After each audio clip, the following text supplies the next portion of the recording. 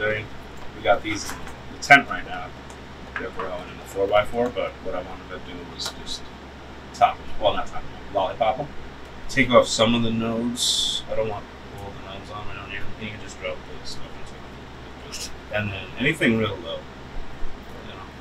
So use its height to proportion it. So like if I'm cutting this one, I'll probably make this the last. Like I'll leave this part, but I'll cut these off.